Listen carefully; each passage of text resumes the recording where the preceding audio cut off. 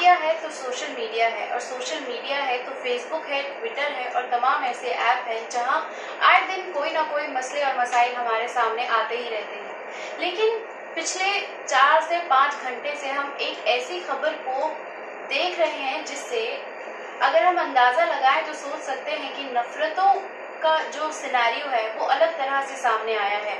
हम बात कर रहे हैं जोमेटो फ़ूड डिलीवरी ऐप की, जिसमें एक कस्टमर ने फ़ूड डिलीवर तो किया, लेकिन जब डिलीवरी बॉय को मुस्लिम नाम जाना तो उसने वो फ़ूड लेने से इनकार कर दिया और ट्विटर पर जोमेटो को टैग करके कहा कि हमारे सावन चल रहे हैं। इसलिए मैं मुस्लिम डिलीवरी बॉय से ये सामान नहीं लूँगा।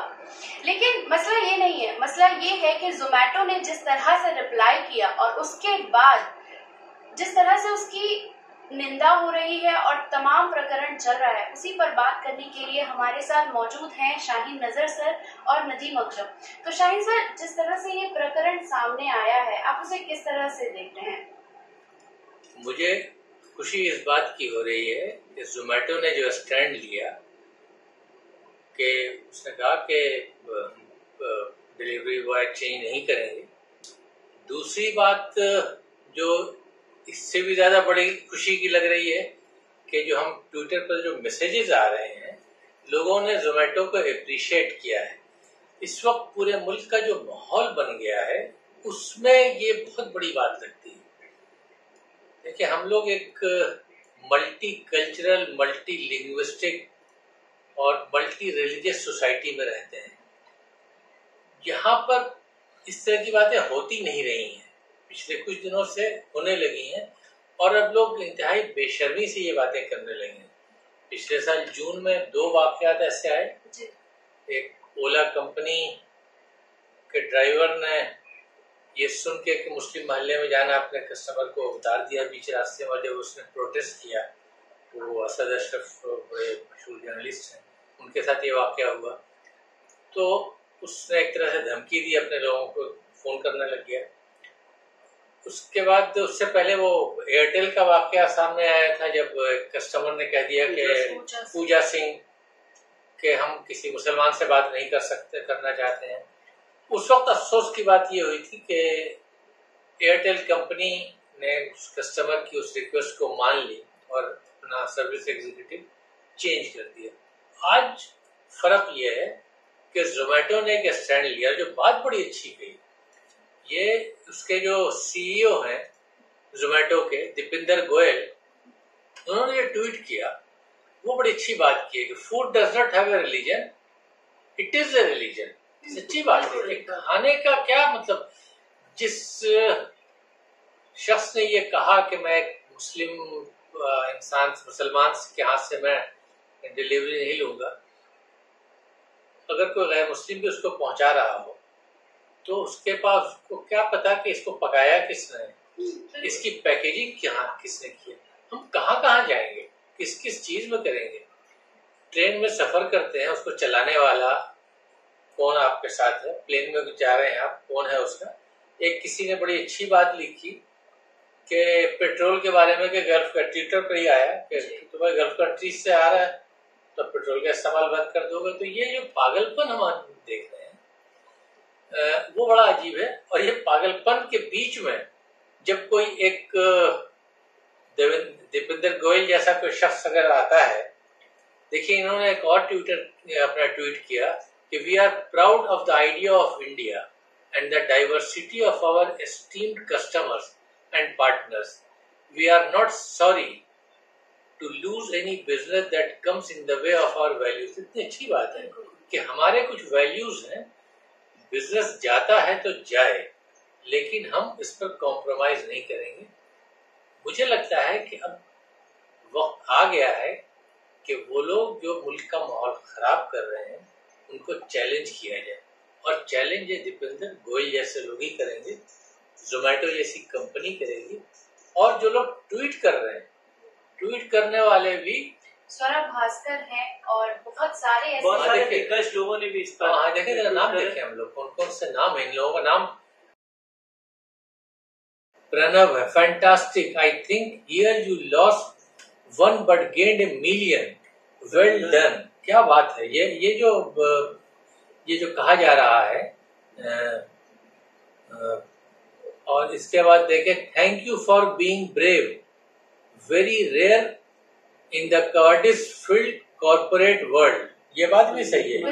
एयरटेल का जो एयरटेल का जो रवैया हम लोगों ने देखा था उसके बाद इसको अगर देखते हैं कि ये संदीप मनुधाने बात लिख रहे हैं कि कॉरपोरेट वर्ल्ड जो है इस मामले में जरा सा बुजदिली का सबूत देता है। हम समझते हैं कि ये एक अच्छा सिलसिला। और सिर्फ़ ये नहीं कि कॉमन लोगों ने ही किया है बल्कि स्वरा भास्कर और हाँ। तमाम ऐसे लोग हैं जिन्होंने स्वरा भास्कर का हम लोग पढ़े देखे क्या लिखा है? सहगल। है। क्या है स्टेटमेंट इनका भाई? New respect for Zomato Twitter dot com ये इन्होंने इस पर दिया है। Food does not have religion tag किया उसको। इट्स ए रिलीजन बहुत अच्छा टैगलाइन है ये। और एक सौरभ भास्कर का भी कह रही थी पढ़े का क्या है? मिस्टर गोयल दीप क्या दीपी दीपी गोयल ओके टैग किया है. Deepi Goyal thank you for standing up for the real idea idea of India and true Indian values you are a true citizen and patriot more power to you ये देखें true patriot ये बात कह रहा है ये. कि you are a true citizen and patriot ये चीज़ें हम लोगों को जब तक के लोग ज़्यादा से ज़्यादा लोग ऐसे सामने नहीं आएँगे। और वो लोग जो नफरत फैला रहे हैं उनकी आँखों में आँखें डाल के जब तक वो ये नहीं बोलेंगे तब तक ये मसला हल नहीं होगा। और हम समझते हैं कि इसके इस केस में अगर ये भी देखा जाए जो लोग ट्विटर पर जोमेटो के लिए लिख रहे हैं वो लिखने वाले भी गैर मुस्लिम लोग ही हैं जो बिल्कुल। ही तमाचा चल रहे हैं जो ऐसे लोग समाज में एक नफरत हाँ। फैलाने की कोशिश कर रहे हैं आप मुस्लिम हैं तो मैं आपसे खाना नहीं लूँगी। और अगर आप मुस्लिम हैं तो आप इन्हें पहले चेंज करिए मैं तब फ़ोन पर बात करूँगी। तो ये जो एक नफरत फैलाने वाले लोग हैं यही लोग हमें असल में पहचानने की भी ज़रूरत है ऐसे लोगों के कि हमारे बीच में ही ऐसे लोग मौजूद हैं जो नफरत नहीं देश में शांति और प्यार का माहौल चाहते हैं। देखिए मेरा अंदाज़ा ये है कि अक्सरियत मेजोरिटी जो है वो ऐसे ही लोगों की बिल्कुल। ये जो थोड़े से लोग हैं ये बहुत वोकल होते हैं असल में। ये अपनी बात जो है बहुत ज़्यादा बड़ी ऊँची आवाज़ में बोलते हैं बाकी लोग खामोश रहते हैं सुनते हैं। हर आदमी झगड़ा नहीं बोल लेना चाहता है। लेकिन हम समझते हैं कि ये इस तरह के जो मोमेंट्स आते हैं जब कोई एक बड़ी कंपनी उसने एक स्टैंड लिया तो फिर लोग सामने आए उसके जवाब में।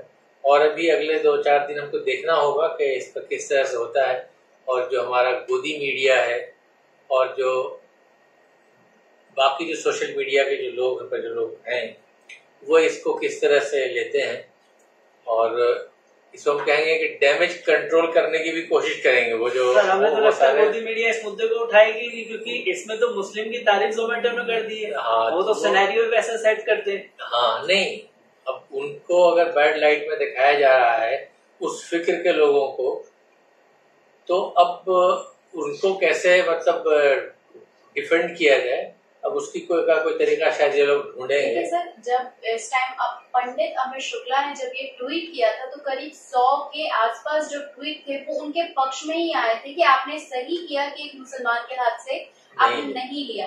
लेकिन जब खाने का मज़हब नहीं है, मज़हब खाना खुद एक मज़हब है। जब जोमेटो ने ये बात लिखी है, उसके बाद सब लोग सामने आए हैं और तब उन लोगों ने लिखना शुरू किया है कि पहली एक ऐसी कंपनी है जिसने अपने एम्प्लॉय को ज़्यादा तवज्जो दिया रेदर अपने कस्टमर से। उसी के साथ इसके, इसमें एक चीज़ और देखने को मिली है, क्योंकि आपने गोदी मीडिया का ज़िक्र किया है। तो गोदी गोदी मीडिया पर दो तरह से इस खबर को दिखाया जा रहा है। एक तो एज इट इज़ मामला दिखाया जा रहा है, दूसरा ये दिखाया जा रहा है कि किस तरह से नाराज़ कर रही है जोमेटो कंपनी अपने कस्टमर को अपने डिलीवरी बॉय की तरह। तो ये दोनों प्रकरण दिखाए जा रहे हैं। और मोस्टली जो टीवी चैनल का जो स्टैंड रहता है, उनकी वेबसाइट का भी उसी तरह का स्टैंड है। कि वो अभी पहले खबर होती थी कि हम स्टैंडा पढ़ते थे कि ये हुआ एज इट इज़ पढ़ते थे। लेकिन अब लिखने वालों ने भी अपना जो मिजाज है, वो पूरी तरह से बदल लिया है और उसी के साथ साथ वो साफ़ तौर पर वो पढ़ने से समझ में आता है कि लिखने वाला किस जहनीत के साथ उस खबर को लिख रहा है। तो सर, ये जहनीत, पहले ये होता था कि पढ़ने वाले को सिर्फ़ खबर का पता चल जाता था। लेकिन अब वो खबर नहीं, वो जहनीत को पढ़ रहा है। तो ये जो वेबसाइट और ये पूरा डिजिटल मीडिया और सोशल मीडिया में जो चेंजेस आए हैं, वो कितना खतरनाक मानते हैं आप? खतरनाक तो है ही। मैं ये कह रहा हूँ कि शुरू में जिन लोगों ने उस कस्टमर को सपोर्ट किया, लेकिन फिर बाद में उसको अपोज करने वाले और जोमेटो की तारीफ़ करने वालों की भी तादाद कुछ कम नहीं है। सर जैसे सौ लोगों ने अगर उनके जो कस्टमर था उनके उस पर आकर के करा मुझे तो लग रहा है कि ट्रेंडिंग में भी इसे ला दिया लाखों लोग जोमेटो के फेवर में लिख रहे हैं और बहुत बढ़िया आपका प्रदर्शन है और आपने जो स्टैंड लिया वो एक भाईचारे का पैगाम है। क्योंकि डेढ़ सौ से ज़्यादा अनस्टॉल भी किया गया है जोमेटो के ऐप अनस्टॉल किया लोगों ने। मतलब वो लोग जो उस कस्टमर के सपोर्ट हाँ, में है जी। लेकिन बहुत सारे ऐसे भी लोग होंगे जो जुड़े जो इसकी वजह से जोमेटो की कदर उनकी नज़रों में बढ़ जाएगी।